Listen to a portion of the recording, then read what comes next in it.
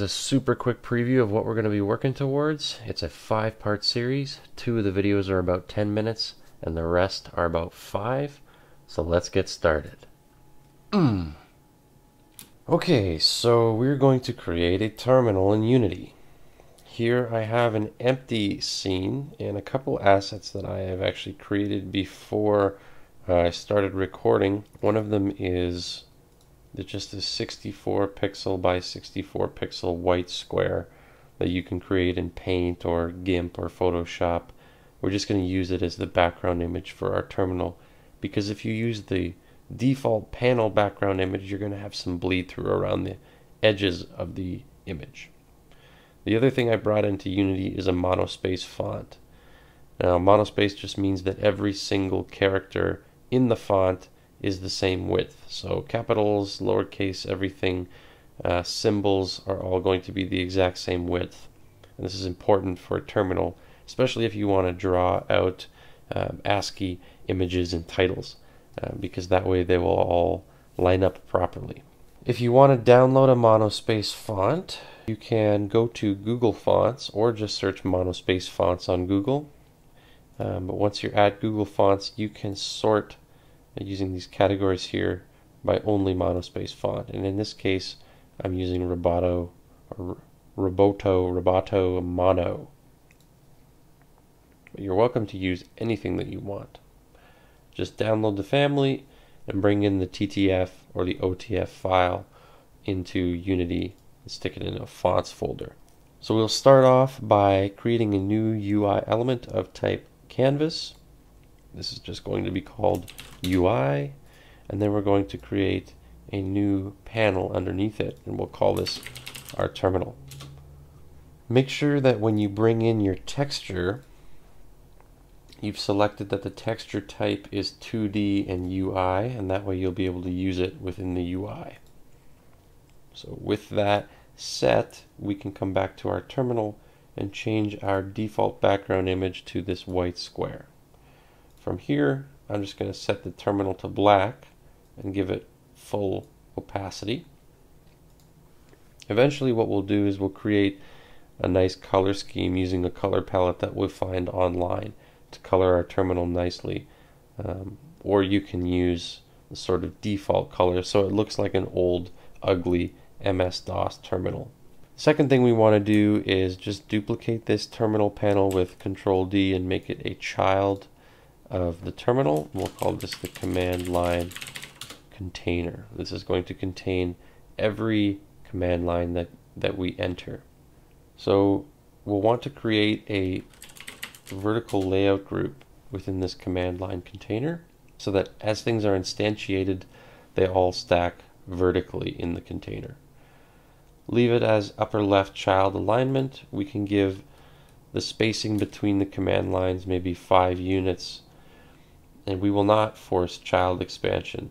Uh, this is this just means if we have say two command lines in our command line container, if we had height force expand, those two command lines heights would be forced to take up the whole height of the container, which we do not want.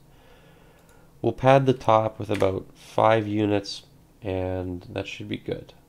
From here we are ready to create our actual command line prefabs.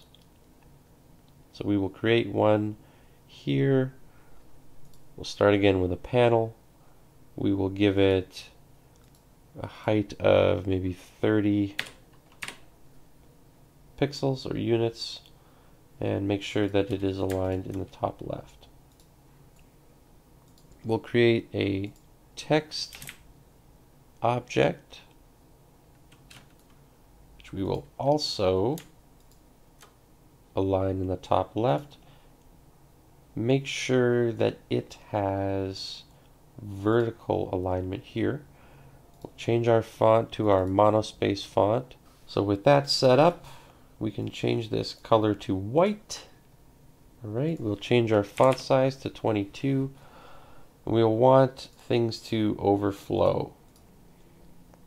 It just is going to allow the text to go outside the bounding box if it does become too large.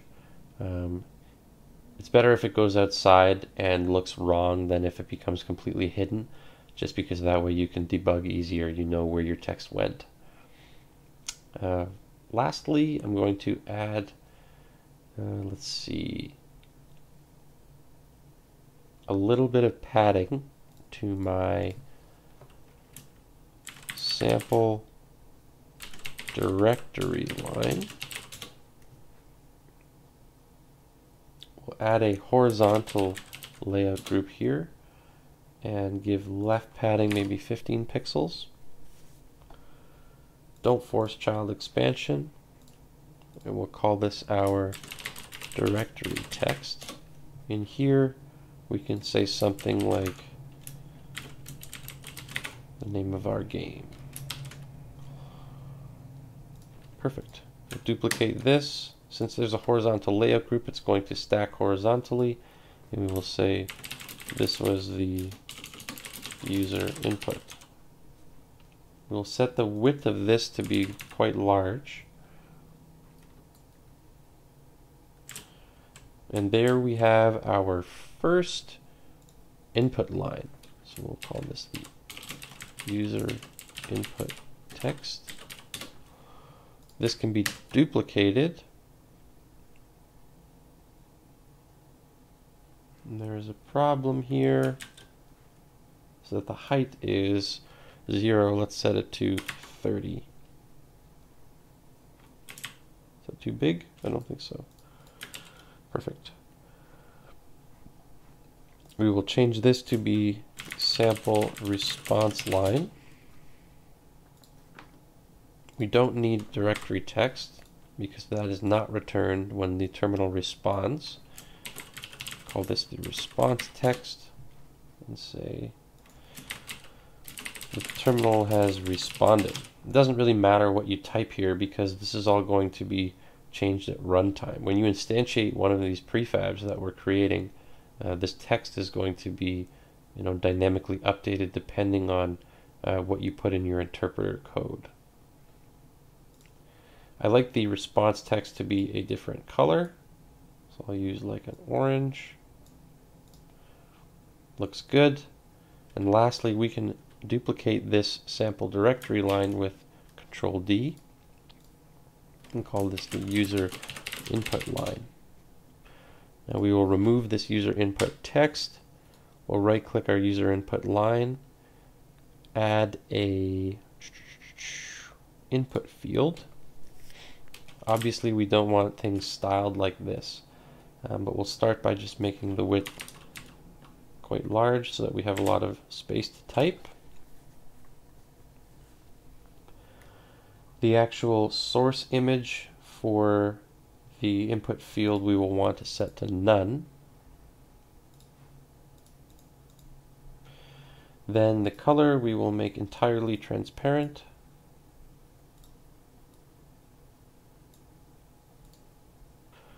We will expand this and delete the placeholder.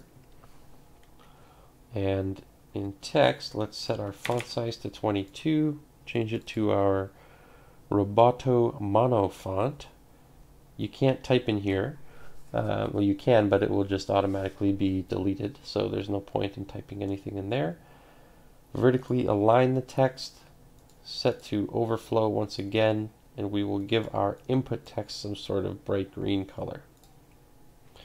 Um, we can change the caret width to be very, very large in the scripting API, I think there's a maximum here in the editor of 5, but we can set it really to be anything that we want. And you can customize this however you like. Change your selection color when you select the text um, and how fast the caret blinks. So if we just test this out really quickly, here we have a terminal, and we can type, this is my input line. Awesome. So that will about do it for the first part of this. In the next part, we're going to turn these lines into prefabs and write a script that's going to allow us to um, dynamically instantiate them as we type in stuff into our terminal.